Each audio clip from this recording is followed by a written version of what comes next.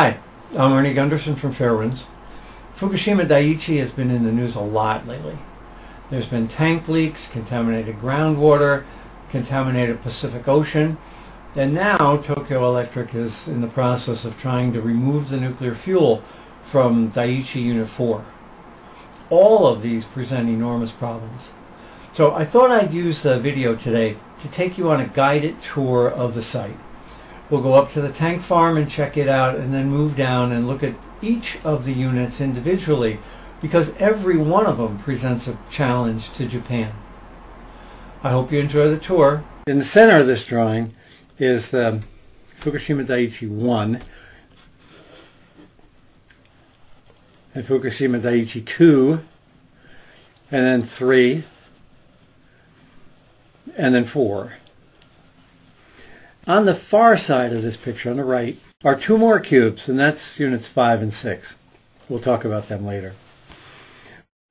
As the numbers indicate, Fukushima Daiichi 1 was the first to be built. And all of the problems that are presently happening on that site, as well as all of the problems that happened with the tsunami, were created when they built Fukushima Daiichi 1. And they is not Tokyo Electric. They is an American company called General Electric and another American company called Ebasco. They're the ones that determined how close this power plant is to the water. Now we're going to jump here to another slide of what Daiichi 1 looked like when, um, um, when it was built. And this is only Fukushima Daiichi 1. All of the issues on Daiichi 1 were locked into concrete. The, um, uh, what happened on units 2, 3, and 4 as well. Specifically the grade. If you look back up the road, you'll see a, um, about a 100 foot drop that engineers built a road down to the water. That was actually all dirt. This entire piece was dirt, and those power plants weren't there. They were covered about 100 feet of dirt over top of those power plants. So the decision to put Fukushima Daiichi near the water was made by General Electric and Ebasco. Now, of course, that had effect on the tsunami, and we won't talk about that today. But now it's a leading cause of the problem with the groundwater. The high area has a lot of groundwater in it, and where is it going? Water flows downhill right into the basement of these power plants. So the decision to cut away the bank that was made in 1965 by General Electric and Ebasco is the fundamental problem on this site because it's um, it's causing the basements to flood. Back in the day, in the 60s, this there was a large steep drop off to the ocean that was leveled by engineers. Okay, on the far side of this picture, on the right, is the tank farm. It wasn't there in in 2011 and it grew dramatically from 2011 to 2012, 2012 to 13. And you can see it's getting pretty darn full. They're going to wind up having to take some of the land in the next farmers' fields over in order to uh, continue to store all this liquid radioactive material. Well, so the tank farm has grown dramatically and it's on the hill. Of course, the problem is because it's on the hill, the um, water flows down. And if there's an earthquake, all of these pipes are held together with plastic piping. Not much different than what you've got on a swimming pool. So the plastic pipe will, will, will um, snap and that water will just run right down that roadway directly into the ocean. The tank in question in this farm is leaking directly into the groundwater. But that's just one tank out of a thousand. And uh, while it's serious enough in itself, it's only problem number one. Problem one, the tank that's leaking. There are other tanks that are leaking too, but the worst one was the one that was identified about three weeks ago. Problem two is that this entire tank farm is not seismically qualified. All right, let's go down and take a look at the power plants along the water and we'll get to the problems three, four, five. Now remember, these power plants have basements that are essentially below sea level. And the water on the hill, that's just coming out of the hill as groundwater, had been coming out for 50, 60, 1,000 years. When they built the power plants, they had sump pumps in the basement that pumped that water out so that the basements would stay dry. Well, now, of course, the basements are radioactive, so they can't pump it out. So we've got hot radioactive material in these basements, and uh, it's got no place to go except downhill into the Pacific Ocean. The problem number three is not the leaky tank farm. Problem number three is the leaky basements on Daiichi 1, 2, 3, and 4. All right, let's take a look at Fukushima Daiichi Unit 1. Now, it doesn't look like this right now. It's got a, a cocoon over top of it. And the cocoon is made of Kevlar, almost like the kind of uh, shrink wrap you'd put on a boat for the winter. This is, of course, uh, a result of the explosion. It was the smallest unit. It was under 500 megawatts, and it exploded first. So mystery number one here is just how much damage happened before the explosion. There's a lot of indications on, on Daiichi 1 that radiation was being released before the explosion and before the tsunami. So it appears that, at least for Daiichi Unit 1, that the earthquake caused some damage. Now in the foreground here is the, uh, is the stack. And Tokyo Electric found cracks in the stack at about 66 meters up. Uh, that's a, a, likely a seismic node, and it's quite likely that that stack buckled from the earthquake. So there's a bunch of indications here that Fukushima Daiichi was in trouble from the earthquake, and the tsunami just sealed its fate. Let's move over to Unit 2. Unit 2 looks like it's in the in the best condition, but it's uh, it actually had a, probably the most severe containment explosion. Units 1 and 3 and 4 also exploded, but the explosions appear to be outside the containment.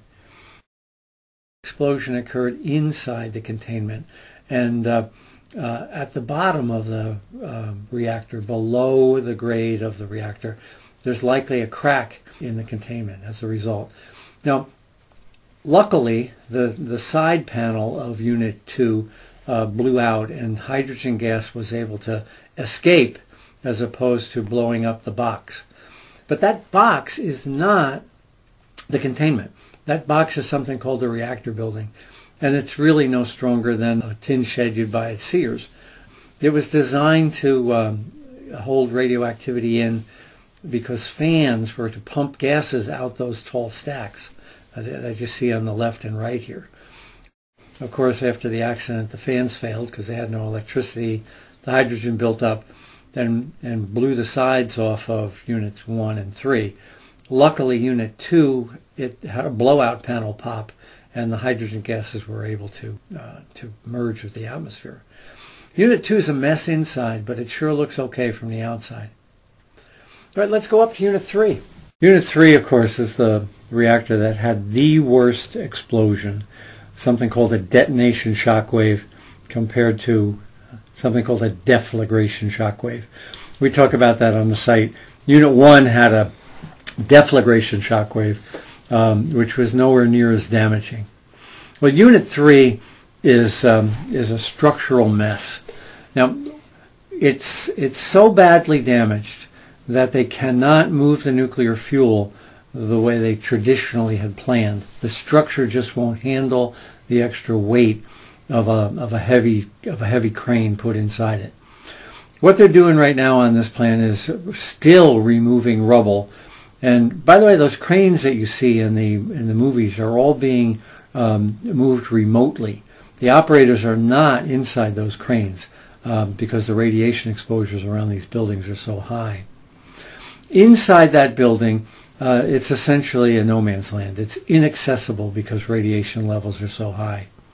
Well, what the heck happened in there is uh, is another mystery. Uh, we we know a detonation shock wave happened, and um, no nuclear plant in the country can withstand a detonation shock wave. The NRC doesn't want to address that, so here in America we're we've solved the problem of detonation shock waves because we ignore the problem of detonation shock waves. Uh, but we know, this picture is evidence that it can happen. Inside that building, um, is uh, extraordinary amounts of radiation. But also outside that building, fuel pellets were found in the uh, aftermath of the accident. Now those were bulldozed under, um, but that's an indication of, of, a major problem inside the fuel pool. You know, I've been saying all along that I think Unit 3 had something called a prompt moderated criticality in the fuel pool. And that particles of fuel would be found lying outside Unit 3 is an indication that that happened. If the fuel had come from inside the nuclear reactor, it would have had to go through the containment and um, uh, through a very circuitous path. So to my mind, it's very unlikely that um, uh, that fuel would be found outside the reactor. We do know that very high sources were covered up with bulldozers early on after the accident and are likely still there. So what will they do with Unit 3? Uh, it has fuel in the fuel pool. Eventually it's going to have to be emptied. But the radiation exposures are so high that, um, that personnel access is really, really limited. My biggest fear on Unit 3 is that the um, another earthquake will happen. Uh, it doesn't have to be a Richter 9. It can be easily like, like the original one. It could be a, an 8.5 aftershock. But this building has been so damaged that, uh, that it could topple and, uh, and shatter from another significant earthquake. It's being covered up and probably will be completely covered with one of those uh, uh, shrink wrap covers by the winter. But right now it's the only building that's exposed to the atmosphere. Let's go down the road in between the power plants now to Daiichi 4. Now Daiichi 4 wasn't running when the uh, when the accident happened, but yet it exploded as well. What made Daiichi 4 dangerous was the fact that all of the nuclear fuel wasn't in the containment. All of the nuclear fuel was in the fuel pool. So this is the uh, this was the biggest concern of all the experts uh, after the accident. And it's the reason that the, the uh, Americans evacuated out to 50 miles. So even though we had explosions in Unit 1 and Unit 2 and Unit 3, um, that was not the big threat to the population in Japan. There was Daiichi 4. Now, the reason for that is that the fuel was hot, physically hot. And if the fuel pool didn't get enough water, it would have drained, and then you would have had a meltdown inside the fuel pool. And there's nothing between the fuel pool and the sky to keep that radiation in. At least one, two, and three had containments that may have been leaking, but they hadn't completely failed. So the main issue was, what if Unit 4 runs out of water? Well, you'll recall right after the accident, they brought in pumping trucks to pump water in and even before that, they tried the helicopters, which was uh, which was a joke. There was no way a helicopter was going to keep this thing full. Um, but in any event, they were able to pump the water back into that fuel pool, and now um, they got underneath the fuel pool and stabilized it. Uh, this is another indication of a seismic problem on the Daiichi site, because after the um, after this building exploded, Tokyo Electric went in and beefed up the floor under this fuel pool. So clearly they had concerns back in April and May, right after the accident, that this plant had a, had a fuel pool that it was in jeopardy of failing. Now this one's all wrapped up in, um, in shrink wrap right now, and they're planning to begin to move nuclear fuel shortly. Now, nuclear fuel is like cigarettes in a pack of cigarettes, and um, if, if the pack is new, you can pull a cigarette out pretty easily. But if the pack is distorted and you pull too hard, you'll snap the cigarette. Same thing can happen inside this fuel pool. If you pull too hard on the nuclear fuel, you can snap the nuclear fuel because the rack has been distorted. The roof fell in on the building. Of course, the rack is distorted. So it wouldn't surprise me that in the course of emptying this fuel pool over the next year, they'll snap a fuel bundle and you see the stack over there on the uh, on the right? Well, that's connected now. So they'll pump the gases from inside that envelope up the stack and release them into the air.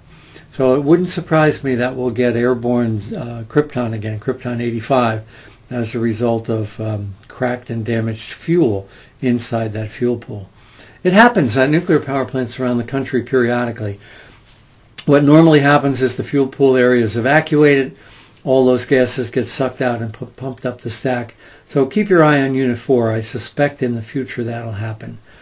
Now we have to pray on Unit 3 and Unit 4 that there's no significant earthquake until those fuel pools are empty. Unit 4 is uh, structurally stronger than Unit 3, but still it's, uh, it's in jeopardy because it too had, um, had the effects of an explosion. There's also a bulge in that blue wall right at the bottom. Um, that blue wall is, is concrete, and the above it was the um, was the was the steel building that we talked about that you could buy at Sears. But that blue wall has a buckle in it, and it bows out about a, an inch or two. That's something called a first mode Euler strut buckle, and it's an indication of a um, of a structural problem that caused by the earthquake on Fukushima Daiichi Unit 4. So the buildings along the water, there's a long row of buildings along the water. Those are the turbine buildings. And um, while impressive, there's really not much going on inside them of a nuclear safety standpoint. They do have basements, however, that are flooded with radioactive waste. Out beyond those is um, is rubble along the water line, and those are where the cooling pumps were that um, uh, that all failed as a result of the tsunami. That's what was supposed to cool the diesels. And like I said before, if um, even if the diesels had not been flooded, they would have failed anyway because they could not have been cooled because all of that rubble along the um, along the coast. But what Tokyo Electric is now planning to do, because we've got radioactive basements being constantly flooded with something like 400 tons of water every day, is they're going to build a trench all the way around Unit 1, 2, 3, and 4. And they're going to um, pump it full of um, very cold liquids through pipes and freeze it. And this is what's called the ice wall. So an ice wall will go on the uh, on the land side of the um, of the buildings that had exploded, and it'll turn the corner, and then it will go down the uh, the water side of the turbine halls, and hopefully they're going to freeze more than a mile's worth of soil in the process. Now, there's no guarantees it'll work. It's never been tried before on such a large scale, and even if the wall works, there's no guarantee that it will seal with bedrock. So we still may have uh, leakage in the future with the ice wall. And oh, by the way, it's going to take at least two years before they build that ice wall, which means this thing is going to continue to leak into the Pacific for at least two years. Well, while we're on the subject of the ice wall, um, I want to talk about the, the book I wrote two years ago. This problem of radioactivity in the basements was foreseeable back then. And um, the plant manager at Daiichi uh, saw that there was going to be a problem in April of uh, during the uh, right after the accident occurred. So it didn't take a genius to figure out that these basements were going to flood. In the book I wrote, I talked about the need to build a zeolite trench on the high side of these buildings, on the land side of these buildings. And the reason I wanted that was to not to keep the radioactive material from getting into the ocean, but to keep the clean water from getting into the power plant. Now you can think of these power plant basements as a, as a bathtub. And if, if, um, if you've got the spigot on and the drain closed, uh, what Tokyo Electric is trying to do is build the walls higher as this bathtub begins to fill. Well, my approach isn't to build the walls higher. My approach is to turn the spigot off. The trick here was not to try to prevent the water from getting into the ocean. The trick was to keep the clean water out. That's why the zeolite trench, if it had been built two years ago, would have allowed engineers to go up on the hill and pump clean water right out into the ocean. It would not have been contaminated because the zeolite trench would have prevented that from flowing out. Now it's too late. The groundwater is contaminated, and if you were to suck groundwater up now, you're not sucking clean water up, you're sucking contaminated water up. And uh, we'll see if it works. Last thing I want to talk about on the site today. Uh, remember we started this by saying that the design decisions on Fukushima Daiichi uh, 1, 2, 3, and 4 were made by American engineers at GE and Ebasco. If we go to the other side of the site, there's Fukushima Daiichi 5 and Fukushima Daiichi 6. They're not in the same location, are they? They're further away from the water and they're physically higher. So Tokyo Electric recognized that the General Electric decisions on Daiichi 1, 2, 3, and 4 were wrong. And when they built more reactors on the site after the first four, they were essentially carbon copies of each other, Daiichi 5 and Daiichi 6 were built far enough away from the ocean and high enough, they were another 10 feet higher, that when the tsunami hit, it didn't do anywhere near as much damage. The Abe administration has, has just suggested that they're going to shut 5 and 6 down anyway. And in fact, we are detecting radiation in the basements of 5 and 6. But as far as meltdowns go or hydrogen explosions go, they survived that pretty darn well. Because engineers learned that the decisions on 1, 2, 3, and 4 were wrong, and they built these further back and higher from the ocean. I'm Arnie Gundersen from Fairewinds. Thanks for tuning in, and I hope you enjoyed the tour. I'll keep you informed.